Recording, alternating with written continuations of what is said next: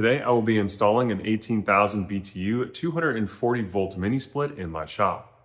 It gets extremely hot here in Texas, so this project has made its way up to the top of my list.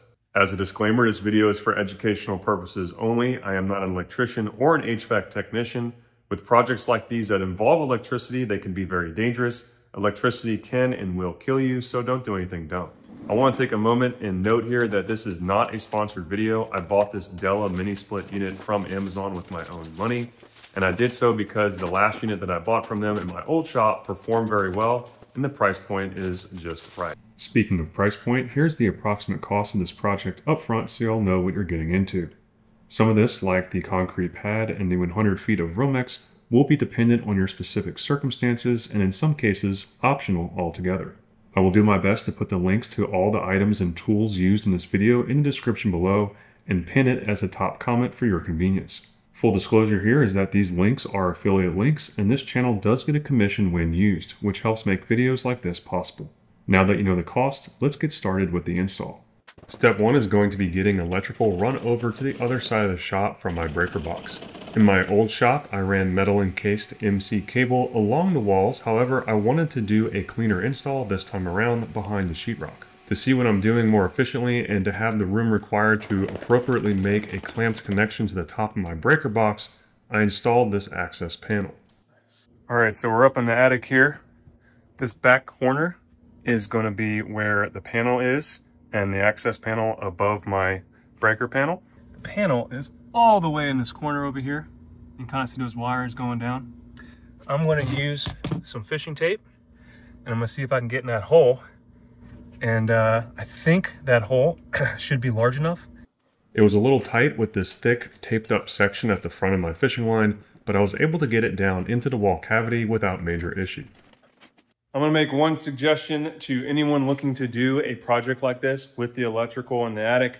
Uh, wait till winter, because it is hot up there. I am making sweat angels on my floor in the garage. It is super hot. Be careful. I know people can uh, die of heat stroke. I would highly suggest hydrating, taking breaks, and uh, maybe getting some electrolytes in there because uh, it's kind of dangerous being in the attic for, for the entire day uh, you know, 100 degree weather outside. So we have the wire pulled down to the panel. I'm gonna run it all the way across the attic and on this side, I'm gonna be dropping down into a wall and coming out of the building.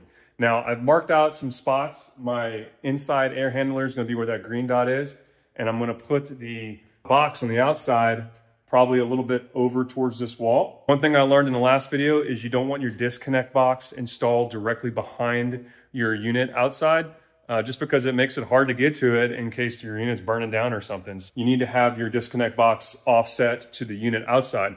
So to do that, I'm gonna be putting it right here. Now, I'm gonna drop a wire down from the attic, but I think I got lucky because there is an outlet right there. I'll be able to utilize the hole that was drilled in the top plate to snake my wire down so I don't have to drill another hole. So that's gonna save me a little bit of time and I'm gonna get started on that now. Alrighty, up in the attic, I have the wire attached to my fishing line here, my metal fishing line. And I also marked out the fishing line with that green piece of tape right there at six feet. That's exactly where the disconnect will be in the wall. Over here, I have my top plate that already has a hole in it for a piece of 12-2 Romex that runs an outlet. In order to make my life easy, I decided to core a 3.5 inch hole in my sheetrock across from where my exterior disconnect box will be. This will help me pull wire down from the attic and get it through the smaller 1 and a quarter inch hole that I drilled into the brick. To get through the brick, I'm using the cheapest hammer drill I could find on Amazon that y'all may recognize from my Tesla wall charger install video. Considering I use it maybe once a year, it's perfect for my needs. From an order of operations perspective, it's easy to forget to put this clamp onto the Romex before installing your disconnect box to the wall. If you do make this mistake, you'll just have to take that box back off the wall and install the clamp. This is an Eaton 60 amp disconnect from Lowe's, and these guys are easy to find and very affordable. I'm using some 3 16 of an inch by 1 and a quarter inch Tapcons to anchor it to the brick. The 12-2 Romex from my wall will be wired up in the middle of the disconnect. Make sure to wrap your white wire with a piece of black tape in order to indicate that both lines are load and this is a 230 volt circuit. Over at the breaker box, I'll be installing a 15 amp dual pole breaker. Also note that my 12-2 Romex is coming into the top of my breaker box and secured with a standard clamping box connector that would have been almost impossible to install without having this access panel. I'm fairly sure I could have run 14.2 on this 15 amp circuit, but I wanted to err on the side of caution considering the length of the run. Like in the disconnect box, make sure that you wrap your white wire with black electrical tape to indicate that it's a load line. This time around, I'm going to be pouring a concrete slab and mounting my mini split to it. To keep the mini split above ground level, I ordered this metal stand, which I put together and added an additional coat of paint for longevity.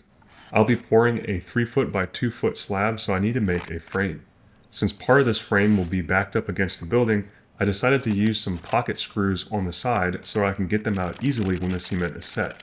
I didn't have a fancy ground compactor, so I used one of the large stones and some inertia to attempt to do some packing. Then I used metal stakes to affix my frame in a level orientation before laying down a thin layer of gravel, which I also packed with my stone.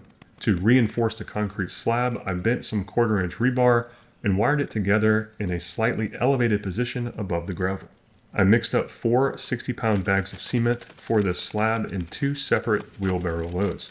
A long 2x4 was used to screed the surface of the slab flush with my frame and I used an edge trawler to get the corners nice and round. I am for sure not an expert cementer and you'll see some flaws in the sides of my slab after I pull off the frames. I think I could have gone with a wetter mixture to have prevented some of the pitting, but for this fairly light application, I think this slab will suffice. The next step on this project is going to be getting a hole in the wall that our refrigerant lines, drain line, and the power slash control cable for my air handler will go through. I'll be making this a 3.5 inch hole so that I can accommodate a larger piece of 3.5 inch PVC. Note that I'll gently slope this hole outwards to aid in drainage from the air handler. This slope was accomplished by using the partially cored hole in my brick as a guide to transfer the center to the sheetrock with a long drill bit canted slightly at an angle.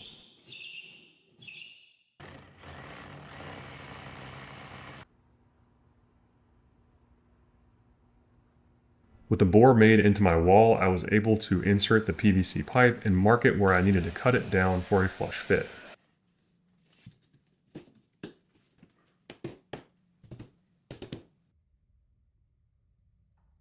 This is probably an unnecessary step, but I mixed up some epoxy to fill in the gap around the PVC on the inside, not only to act as a seal, but also to provide a little bit of holding power for this assembly.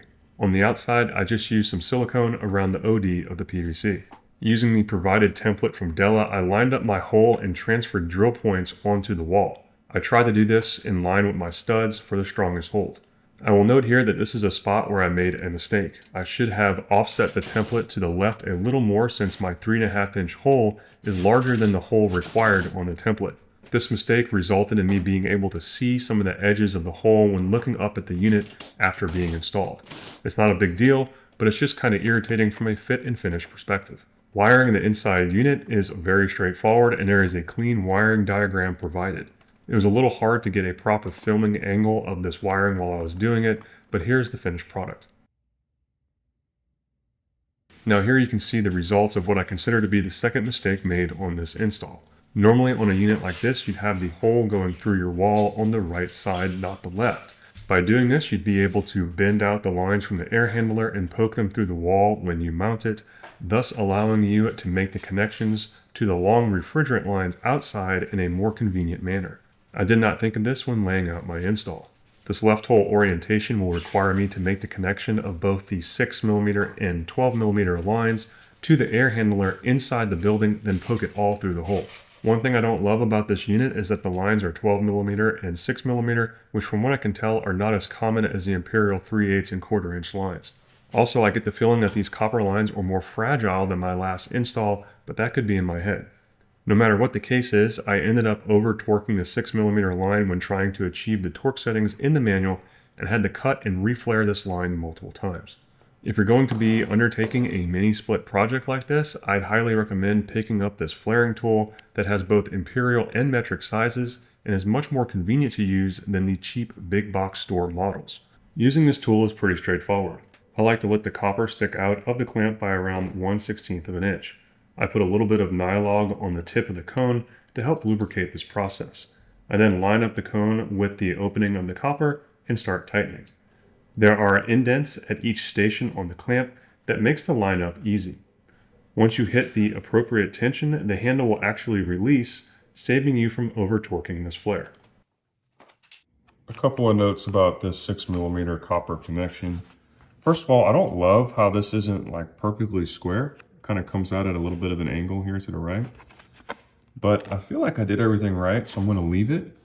I did torque this up to maybe uh, about 12 newton meters. The manual calls out for much more, and uh, I feel like I feel like I'm going to break something if I keep going. So uh, I'm going to leave this guy at 12. And, you know, if I have a leak in the system, I may have to take this off the wall. But I have cut this a few times now, and this is the best I've done. I will also note that I don't like how there's an indent uh, where my cutting tool kind of clamps on to this piece of copper. Uh, I am using the 6 millimeter section. So uh, once again, that's as good as it's going to get. This is a precarious part of the project forced by the left side hole that I was talking about earlier. I carefully moved the air handler with the connected lines towards the wall and then hoisted it up onto the mount. You want to be very delicate here since the 6mm line can easily be kinked. I had a ladder outside accepting some of the weight of these lines to help prevent this. With the air handler installed, you can gently bend these lines as they exit the building and then mock up where the line set cover will land. These line set cover sets are extremely cheap and add a layer of professionalism to your install. Next up, we'll be connecting the refrigerant lines to the unit, so it's time to get the stand and outdoor condenser sitting on the slab. With a lot of these pre-charged units, you can skip all of the cutting and flaring and just coil up the extra line behind the unit, but I feel like it's a neater look to just cut the lines to your application. I do make sure to bend them in such a way that I'd have slack if needed in case of a leaking connection since to repair that you would need to cut away some more line and reflare it. Also, when you're resizing these lines, make sure to put the connecting nut back on before flaring. You can see here I forgot to do that and I needed to cut and flare again. When installing these lines, I put a little nylog on the mating surfaces for a long-term seal. I also try to hold the line as straight as possible as I snug down the connector. This does seem to make a difference, so take your time here and line everything up. Like on the inside connections, I think the torque ratings are a little high in the manual, so I actually ended up going by feel to some degree. Even then, I suspected that I may have over-torqued the 6mm connection, which is why I went out of my way to run a positive pressure test on the system later in the install in order to verify that I'm solid. The first test you can run to make sure your line set isn't leaking is a vacuum test. I'm going to be using the same vacuum pump I purchased for my first install along with the gauge set. On this test, I did not remove the Schrader valve, which if I did would have sped up the process. I just ran the vacuum pump for around 45 minutes, pulling the system down to around negative 28 to negative 30 psi. As mentioned, I will be performing a positive pressure test on this system with nitrogen later, so this is really just an initial leak test. On my first split system install years ago, I called it good after this vacuum test, and I don't think that there's anything wrong with that method. I just wanted to be extra sure on this one with a positive test due to my misgivings with the torque settings on the copper, and because I had a friend tell me recently that his install passed a vacuum but failed on the positive test. So that's what motivated me to go down the nitrogen route. While the vacuum pump is running, I continued on with the wiring portion of the install. I ordered a pre-made 10 gauge whip for this install because I couldn't find any 12 gauge pre-made whips online. This was a mistake since it was very difficult to get the 10 American wire gauge stranded copper into the mini split connection ports. I got them in there, but I would have been better off making my own line set with either 14 or 12 gauge THWN wire. Also note there is a little holder for the cable glands that should be affixed to the unit before the cover. This allows you to get the wires all in the right orientation before installing the cover over them. A couple of things I added was a black cable gland for the wire coming from the air handler and some weather stripping not shown here around the cover since it wasn't perfectly flush. Over on the 16 amp disconnect, all you need to do is knock out a spot and screw in a connector on the whip's 90 degree cable gland. The pre-crimped connections on the whip would not work on either end of this install, so I just cut and stripped the wires to fit. The black and red load wires will be installed on the outside of the disconnects connection block. With the electrical complete, we can go back and check on the line set. Still holding strong in the same spot after an hour sitting here, so I'm gonna call that good. I was able to rent this 40 pound charged nitrogen bottle for about 45 bucks from my local welding supply shop, and I just ordered some budget gauges from Amazon for this project. After I'm done with this pressure test, I'll just store that gauge set along with my vacuum pump so that it will be ready for the next time I install a mini split. In order to not have any restrictions from my test, I used this tool to remove the Schrader valve. I apologize for the poor camera angle on this step. I then hooked up the nitrogen bottle to the center yellow line of my gauge set and then the low pressure blue line to my mini split. Be very careful here with this process since you have the ability to blow out your line set with the 2000 psi of charged pressure on your nitrogen bottle. Not only would this wreck your unit, but it would also potentially be very dangerous to be around when the line's let loose. All right, so we have the nitrogen hooked up. It's been a few minutes holding it at about 100, 110 psi. It's a good intermediate step. I'm going to start stepping it up uh, by 100 psi till we get probably around 400. The unit says the max pressure is around 600, 620 psi, but I feel like a 400 pound pressure test to be uh, plenty adequate to make sure that we don't have any leaks.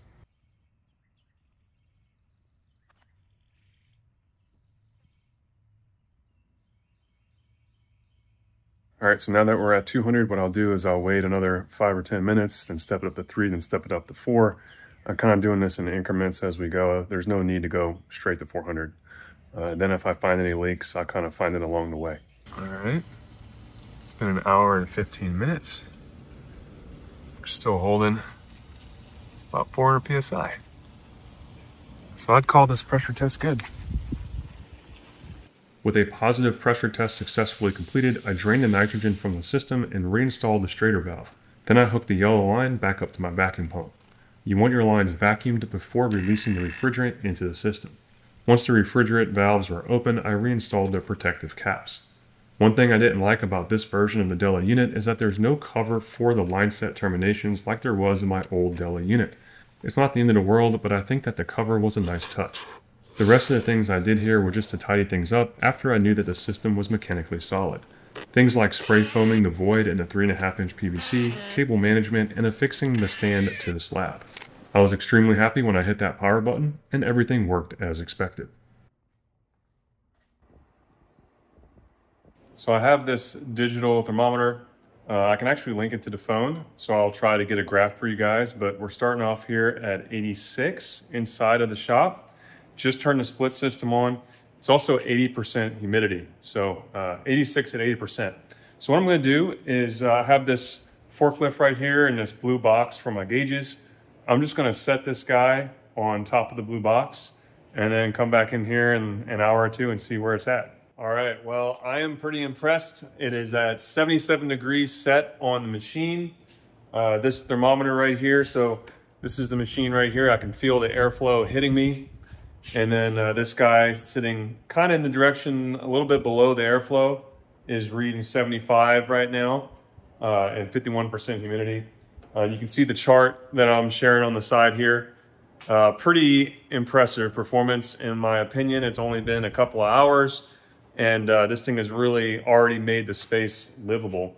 I think the fact that this is an insulated garage will really help uh, this thing keep up with cooling. On this topic of performance, I've had some time to play with the unit and the mobile application. What I really like is that you have full control of the unit on the app and you have the ability to schedule on and off times as well as what mode the unit will be in. I'm currently playing with a cyclic schedule that maintains a low humidity value during the days I'm not actively working in the shop in order to keep my equipment from rusting. In addition, on days I plan to be working in the shop, I schedule the unit to turn on in the morning and start cooling. This is a work in progress, but you can see the shift change on these charts showing where I brought the system online. With those results, I consider this a massive success. Like always with projects like this, I learned a bunch of new things. I got some new tools throughout the process. Both of those things are very welcome for a DIYer. Uh, the next mini split that I install, I'll do an even better job. And uh, that's how things go. I hope you all enjoyed the video. If you did, hit the like button down below. Consider subscribing to the channel. And this is Red Beard Engineered, signing off.